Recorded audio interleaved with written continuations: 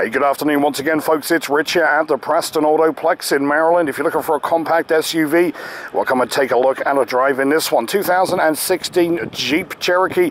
This one, of course, just over 24,000 miles, sold to you with a balance of the factory warranty in wonderful condition, and of course, price to sell. Inside, we have the black cloth upholstery, no rips, burns, stains, or smells, and this one, of course, is nicely appointed with your power windows, mirrors, locks, cruise, factory AM/FM media player, backup camera, and a king-size panoramic moonroof. Now, under the hood, 2.4 litre 16 valve four cylinder engine.